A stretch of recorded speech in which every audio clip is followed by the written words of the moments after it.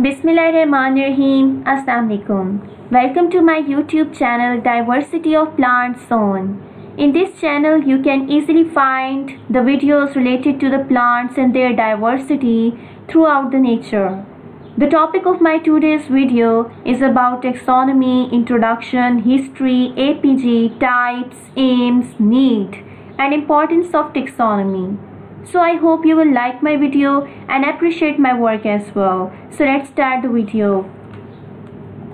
First of all, I'm going to discuss about introduction. Taxonomy was recognized as a journal subject only in 1813 by A.P. de Candolle. Taxonomy is a combination of Greek words Taxis means arrangement and nomos means rules or law. Taxonomy deals with identification, nomenclature, and classification of plants. Classical taxonomy the classical taxonomy is also known as orthodox taxonomy. Classical taxonomy generally deals with operational procedures such as identification, nomenclature, and classification of species. Classical taxonomy is based on morphological characters and anatomical data along with geographical distribution of species the information is collected from the herbarium. Systematics The term systematic was first given by Linnaeus. Systematics is based on the classification of plants and arranging them into hierarchical order. Systematic is the scientific study of plants and their evolutionary history. Study of systematics and taxonomy, both known as systematic biology. Biosystematics Another name of biosystematics is experimental taxonomy or new systematics. Biosystematics deals with the taxonomic study of the organisms from the standpoint of populations rather than individuals and of the evolutionary process found along with populations. Biosystematics is largely based on genetically, cytological, and ecological aspects of plants and involves study in experimental gardens and in field plant taxonomy as shown in the figure. History of plant taxonomy. First of all, I am going to discuss about Theophrastus. Theophrastus is the father of botany. Theophrastus divided the plants into the four categories, which include herbs, shrubs, shrubs, and tree. First of all, I am going to define herbs. What are herbs? Any seed bearing plant that doesn't have a woody stem and dies down to the ground after flowering. For example, the banana plant is the world's largest herb. Next is subshrub. Subshrub or dwarf shrub is a short woody plant or it is a low growing perennial plant having a woody lower stem. Third is shrubs. Shrubs is a woody plant which is smaller than a tree and has several main stems arising at or near the ground. Next is tree. Tree is a woody perennial plant typically have a single stem or a trunk growing to a considerable height and bearing lateral branches at some distance from the ground. Albertus Magnus. He separated vascular plants from the non-vascular plants and also monocots and dicots. Third is John Ray. He suggested a scheme of classification of plants. Fourth, Carolus Linnaeus. Carolus Linnaeus, also called father of taxonomy, he proposed a binomial system of nomenclature. In binomial nomenclature, the first name is the genus name and the second name is the species name. Anton Laurent de Jussieu He proposed a classification system based on natural characters. Next is angiosperm phylogeny group system which is also called APG. APG is the first variant of a modern mostly molecular based system of plant taxonomy. It is the first time published in 1998 and known as APG1, then published in 2003 known as APG2 and in 2009 published again and called APG3. APG classification is mainly based on the synthesis of knowledge about the relationship of angiosperms obtained from morphological to molecular data and using the phylogenetic methods. In the APG classification system, only monophyletic groups should be recognized. Above the level of orders and families, the term clade is also used more generally. Advantages of the APG APG system based on the principle of monophyly. Phylogenetic, phylogenetic, anatomical, embryology, phytochemistry, molecular, formal name have been given only to those groups where monophyly has been firmly established. To reduce the problem of paraphyly, the traditional separation of angiosperms into monocots and dicots has been discarded. Various groups of monocots have been placed in between primitive dicots and advanced dicots. Disadvantages of APG APG classification is restricted at taxonomic levels of only order and family. Second disadvantage is APG classification has few followers in practice. Next I am going to discuss about types of taxonomy. First type is alpha taxonomy. Alpha taxonomy is the first and most basic step in the taxonomy. Alpha taxonomy, the organisms are identified, characterized, classified and named. The pioneer or exploratory phase of taxonomy is basically analytical. It includes the collection of plants for analysis of their characters.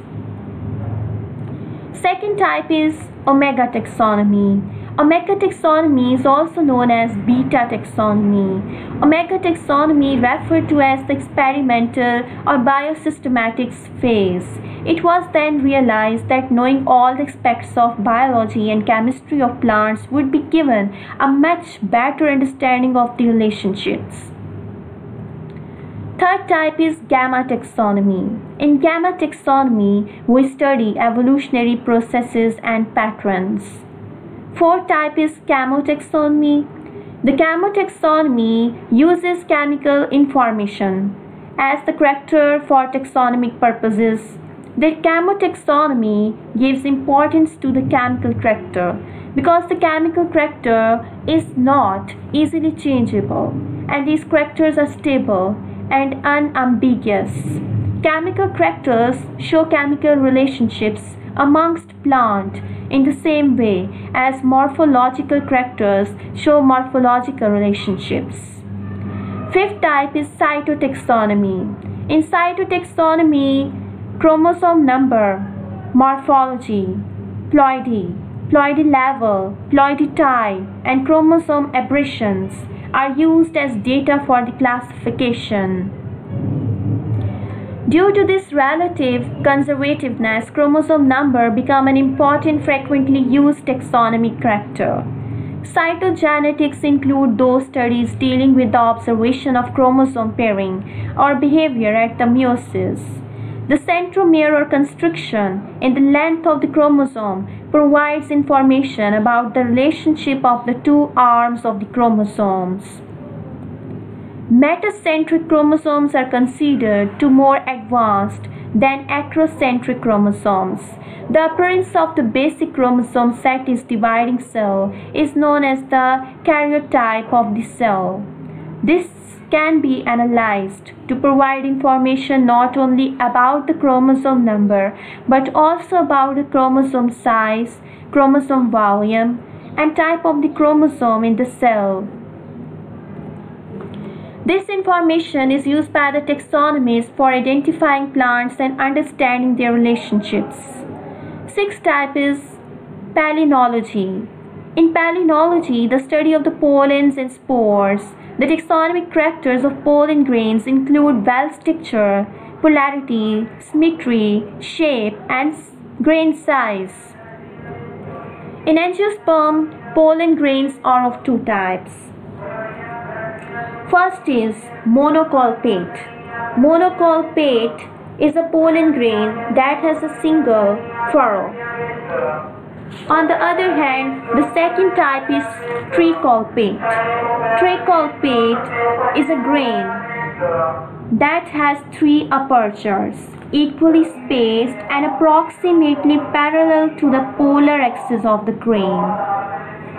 The monocolpate pollen grain is boat shaped, has one long germinal furrow and one germinal aperture. These characteristics of primitive dicotyledons such as the Piperaceae and Chloranthaceae, majority of monocotyledons and cycads and seed ferns are included in it. Next type is embryology. Embryology, study of the successive stages of sporogenesis and gametogenesis and growth and development of the embryo, endosperm and seed coat. Embryological shreds of evidence have been used in solving taxonomical problems at almost all levels and have been helped to resolve the doubtful systematic position of several taxa. Eighth type is numerical taxonomy. Numerical taxonomy is a classification system. Numerical taxonomy is developed for multivariate analysis. Multivariate analysis is based on principle of multivariate statistics, which involves observation and analysis of more than one statistical outcome variable at a time. Classify organisms based on the one character, but always looking lots of characters during a classification at the same time. Using the computer, it is also called Operational Taxonomic Units or OTU. Numerical taxonomy aims to create a taxonomy using a mathematical formula based on algorithms like cluster analysis rather than using subjective evaluation of their properties. Next is aims of taxonomy. There are three main aims of taxonomy which includes identification, nomenclature and classification. There are two main approaches. Number one is empirical approach. It is based on practical aspects, observation of characters, etc. Next is interpretive approach. The classification is based on interpretation and evolution of a taxon, for example, phylogenetic system. Modern taxonomy combines both approaches with the following aims to provide a convenient method of identification and communication, to provide classification which is based on natural affinities of organisms as far as possible, to provide an inventory of plant taxa by means of flora, to detect evolution at work, discovering its process of interpreting into results to provide an integrating and unifying role in the training of biology students regarding the relationships between many biological fields and data gathering science. Next topic is need and importance of taxonomy. With a huge variety of plants surrounding us, it is extremely essential to pinpoint a particular plant for our interest by noting the similarities and differences with other plants. A biologist studying a particular plant needs to know his field of study. Thus, it becomes extremely necessary that the plant is first identified, given a proper name, so that he can communicate his ideas about it and also know the group to which the plant belongs. These three activities are in fact the main functions of taxonomy. Thus, taxonomy, which is probably the oldest of sciences, is the science of classification, including its basis, principles, rules, and procedures. Its general purpose is to arrange plants in a way as to provide an information retrieval system the name and rank or position in an ordered hierarchy which tells us something about the plant. It comes from the two Greek words, taxis meaning arrangement and nomios meaning law or rule. Thus, taxonomy means classification following certain rules and principles. But it is very important to note that a plant's name is the key to its literature, and grouping can only be possible when its identity is revealed and are named for the sake of convenience and communication of ideas about it. The term taxonomy was first introduced to the plant science in 1813 by the A.P. de Candolle which meant the theory of the plant classification. But later this term became more inclusive and at present it includes identification of plants, their nomenclature and classification. Traditionally, taxonomy was based largely on the gross morphological features of a plant. However, now virtually all other scientific information is used from branches like the anatomy, genetics, cytology, chemistry, reproductive biology, ecology, physiology, molecular biology, etc. Hence, taxonomy is a very dynamic and synthetic science and is the basic to all other sciences. At the same time, it is dependent upon them. For example, the information used by the taxonomists is gathered using information from other disciplines such as genetics, ecology, morphology, anatomy, and physiology, etc. Relationship of the taxonomy with the various disciplines as shown in the figure. Taxonomy is related to the all disciplines of the science which includes paleobotany, molecular biology, morphology, geography, embryology, ecology, genetics, evolution, palynology, microscopic morphology, history, anatomy, chemistry, physiology, cytology, and phylogeny. If you like my video, please like and subscribe to my channel. Thanks for watching and thank you so much for appreciating my videos.